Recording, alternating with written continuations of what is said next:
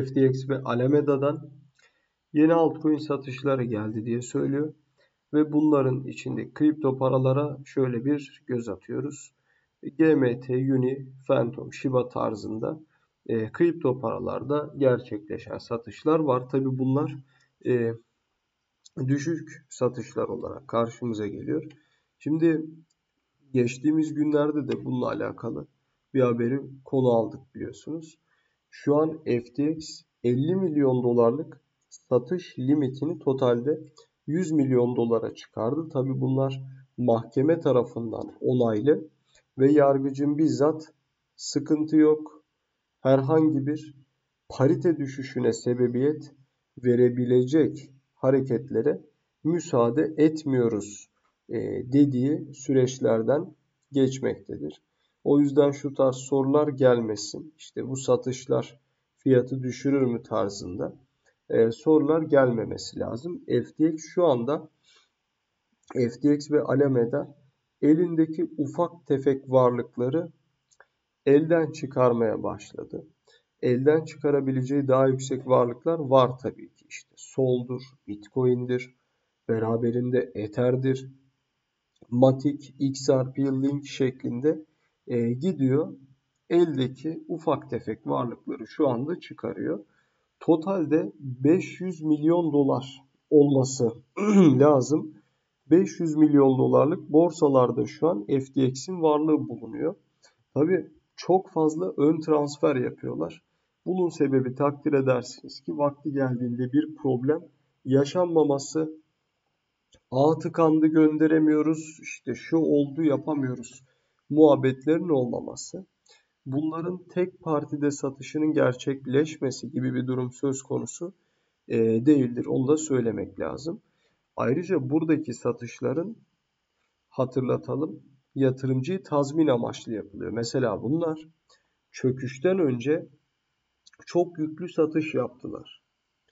Launchcoin'de yanlış olmasın ellerinde 60 milyar gibi bir e, launch meblağı bulunuyor. Tabi başlangıçta şey 120-130 milyardı da e, sona doğru 60 milyara doğru geldi.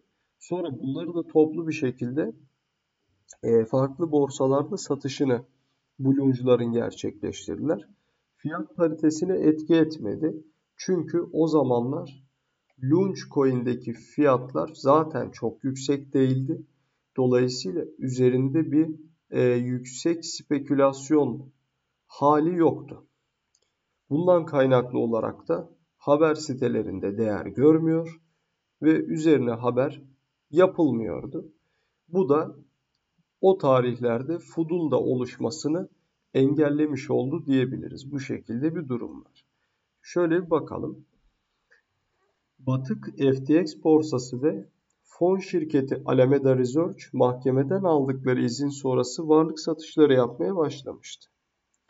Bu arada en son yine bir takım e, fon satışlarına da başladılar. İşte e, işte Gisol tarafında, Grayscale tarafına e, bağlı bir takım fonların yani daha doğrusu trustlerin e, satışını yapmak için izin aldılar. Tabii yüklü bir miktarı sol bir kısmı e, Matic, XRP ve Mana'yı içeriyor. Buradaki trustler. Bunların satışı için de onay aldılar yani. Bunların da e, satışını gerçekleştiriyor, gerçekleştirebilirler. Şu anda gerçekleştirmediler ama daha evet. Son diyor gelen veriler şirketlerin yeni satışlar için altcoin'leri borsalar gönderdiğini gösteriyor. Borsa cüzdanları satış 8 altcoin hareket ettirerek yaklaşık 11 milyon dolarlık nakit sağladı. Blockchain analiz firmalarının aktardığı bilgilere göre FTX bağlantılı cüzdanlardan Binance, Coinbase ve Wintermute hesaplarına 10.8 milyon dolarlık altcoin transferi gerçekleştirildi. 8 ayrı token üzerinden gerçekleşen satışlar, şirketin son gerçekleştirdiği satışlar oldu. E burada tabii şeyi de anlayabilirsiniz. Farklı hesaplara her zaman dağıtım yapıyorlar.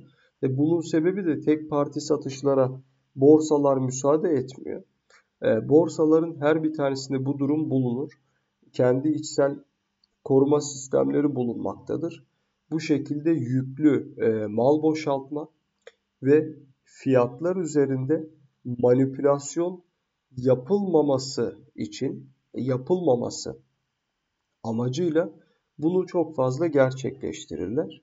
Limitler taban tavan fiyat farklı olabilir. Ancak e, meblağları farklı olabilir. Ancak tamamında belli bir e, satış limiti bulunmaktadır. O yüzden tek partide bir borsadan satılamıyor. O yüzden varlıkların da büyük bir çoğunluğu çokça farklı borsa tarafına dağılmış bir şekilde bulunuyor. Satış yapılan altcoin'ler ise şu şekilde. GMT'den 2,5 milyon dolarlık bir satış yapıyorlar. E, GMT bu arada iyidir yani iyi bir altcoin'dir. Ben sezon içinde yükselişler yapacağını düşünüyorum. ATH'larını egale edebilir. Olmazsa olmazlar dediğimiz o listenin içinde değil. E, ama tercih edilebilir yani.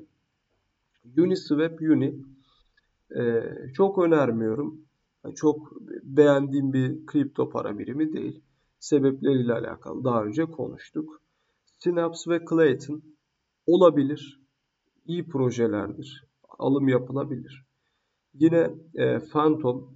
Phantom da olabilir. Akıllı sözleşme protokollerinden bir tanesidir. E, bir Cardano değil ama yukarı eğilimli bir kripto para dediğim gibi. E, ADA gibi altcoin'lerle başlamak eğer yoksa daha iyi olacaktır. Devamında FTM yatırımları da yapılabilir. E, Shiba bu arada bunlarda yapılan satışların hiçbir tanesi pariteye etki edebilecek düzeyde değil. Haberiniz olsun. E, Shiba portföylere yakışır. Şuradaki liste içinde alıma en e, alıma değer bulduğum kripto paradır. Portföylere yakışacak e, sağlam, güçlü bir varlıktır. FTX ve Alameda'nın Grayscale üzerindeki fonları da geçtiğimiz günlerde mahkeme izni alınarak satılabilir hale gelmişti. O fonlarda da yaklaşık 800 milyon dolarlık kripto para bulunduğu biliniyor. FTX'in yaptığı satışların piyasa üzerinde etkili olabileceği düşünülse de genel genel iyimserlik hali bu satışların kötü etkisini gidermiş gibi görünüyor.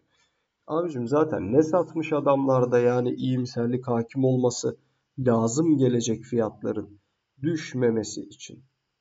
Evet bana çok e, mantıklı gelmedi hani bu son söylem. Ki FTX'in yapmış olduğu satışlar da e, zaten parite hiçbir kripto parada parite etki edebilecek bir skala içerisinde bulunmamaktadır. İzlediğiniz için teşekkür ediyorum. Abone olup videoyu da beğenebilirsiniz. Bol kazançlar diliyorum herkese. Hoşçakalın.